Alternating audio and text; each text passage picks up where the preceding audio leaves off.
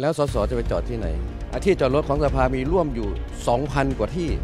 นะครับมันจุจอดรถได้ 2,000 กว่าคัน ในวันประชุมขอแค่ 500 คันนะครับให้สสเขาได้มีที่ที่จะจอดรถเพื่อมาประชุม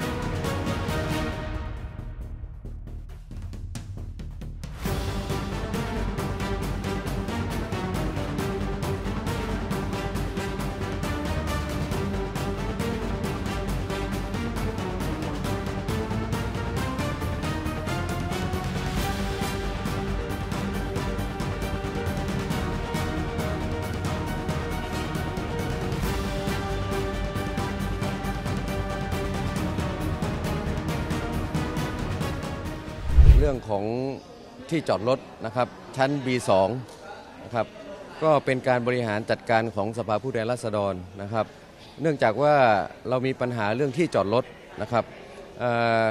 ทางสมาชิกนะครับ 500 ท่านเนี่ยนะครับพอถึงเวลาจะมาประชุมสภาในวันอังคารและวันพุธเนี่ยนะครับ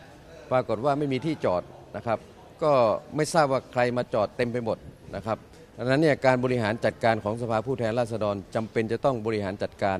ให้มีระเบียบนะครับแล้วก็เป็นเเขาเรียกว่าเป็นเป็นระบบนะครับโดยเฉพาะ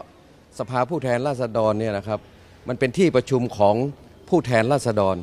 นะครับดังนั้นการอำนวยความสะดวกให้กับผู้แทนราษฎรต้องต้องต้องมาก่อนนะครับดังนั้นการติดสติกเกอร์ตามเลขหมายของสสนะครับเพื่อให้ใช้ ในวันในวันที่มีการประชุมของสสคือวันพุธพฤหัส แต่ถ้ามีการประชุมร่วมนะครับก็เป็นอีกวันหนึ่งดังนั้นเนี่ยนะครับการติดสติกเกอร์เพื่อแก้ปัญหาที่สสไม่มีที่จอดนะครับบางครั้งนะครับ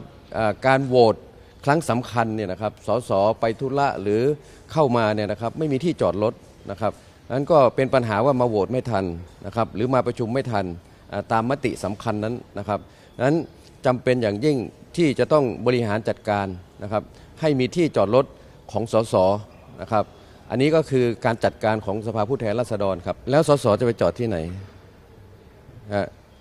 คือการบริหารจัดการเนี่ยสสห้าร้อยคนเนี่ยเป็นที่ประชุมของเขา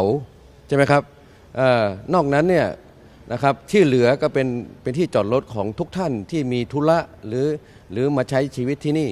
นะครับดังนั้นเนี่ยขอแค่สองวัน นะครับ นอกนั้นนะตั้งแต่วันจันทร์วันอังคารวันวันศุกร์ก็เป็นเรื่องของท่านนะครับ แต่วันที่สำคัญที่สุดที่สสต้องมาประชุมเนี่ยต้องมีที่จอดรถให้เขาแค่ 500 ที่นะครับที่จอดรถของสภามีร่วมอยู่ 2,000 กว่าที่นะครับมันจุจอดรถได้ 2,000 กว่าคันนะครับในวันประชุมขอแค่ 500 คันนะครับให้สสเขาได้มีที่ที่จะจอดรถเพื่อมาประชุม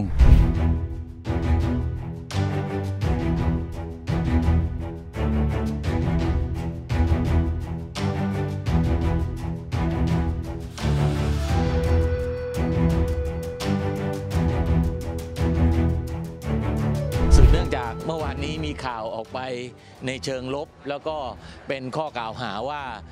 ผมเนี่ยได้ไปพูดในสภาหาลือกับท่านประธาน เรื่องของการล็อกที่จอดรถให้กับสส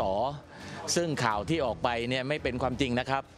มีคลิปการอภิปรายของผมเมื่อวันที่ 7 เมื่ออาทิตย์ที่แล้ว ชัดเจนว่าผมได้ปรึกษากับท่านประธานสภาผู้แทนราษฎรในขณะนั้น คือคุณพิเชษเชื้อเมืองพาน กรณีที่มีเพื่อนสสเนี่ยไม่เอารถไปจอดในช่องนะครับ ซึ่งต่อซึ่งที่ผ่านมาเนี่ยแต่ละช่องเนี่ยทุกคนเข้าไปจอดได้ แต่เพื่อนสสไม่จอดในช่อง แต่ไปจอดตรงบริเวณทางวิ่งทำให้รถเนี่ยเข้าออกจอดลำบากนะครับ ไม่ว่าจะมาก่อนหรือมาหลัง